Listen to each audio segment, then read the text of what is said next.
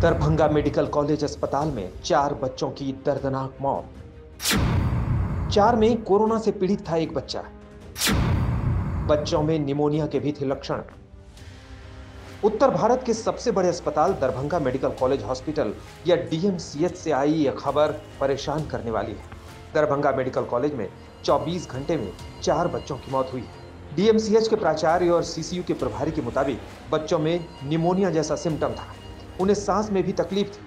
उन्हें गंभीर हालत में लाया गया था।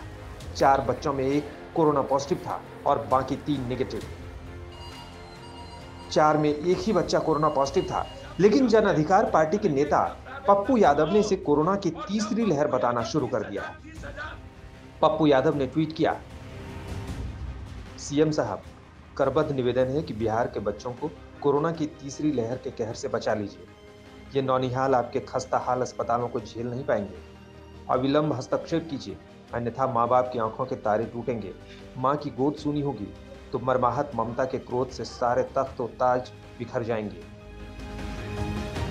बच्चों की मौत तो कोरोना और निमोनिया से हुई, लेकिन इस दर्दनाक खबर को जरा इस तस्वीर से जोड़कर देखिए, जो पिछले दो दिनों में आई है।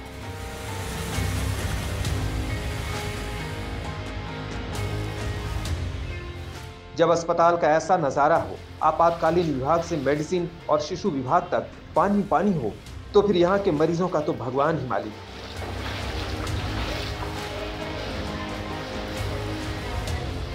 ये बिहार के दरभंगा स्थित मशहूर सरकारी अस्पताल डीएमसीएच की तस्वीर। यास तूफ़ान ने जाते जाते शहर में ऐसी बारिश कराई कि अस्पताल में भारी जल भराव हो गया।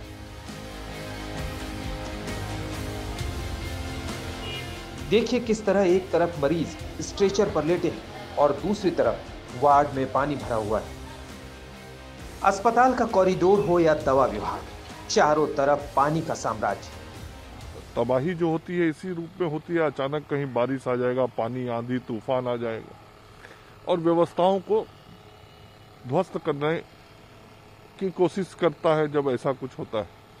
तो हमारे डीएमसीएच के अंदर भी जो बहुत तेज बारिश हुई, उसका असर दिखा और प्रशासन उसको ठीक करने में लगा। तुरंत पानी को पंप आउट करने की व्यवस्था वहाँ हो रही ऐसे वक्त में जब बिहार कोरोना संकट से जूझ रहा है, दरभंगा मेडिकल कॉलेज अस्पताल का ये हाल कहीं से सिस्टम पर भरोसा पैदा नहीं करता। जब अस्पताल ही बीमार हो तो फिर मरीजों का क्या होगा?